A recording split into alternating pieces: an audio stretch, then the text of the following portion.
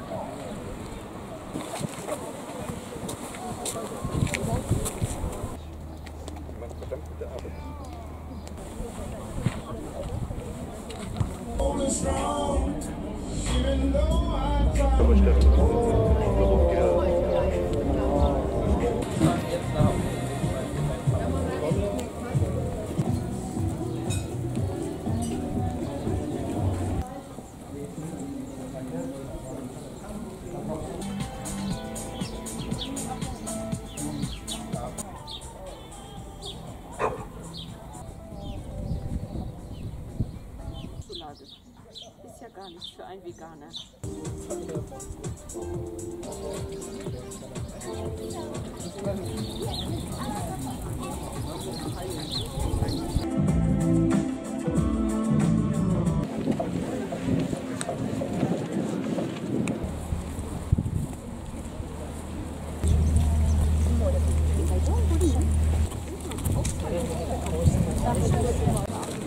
Thank you.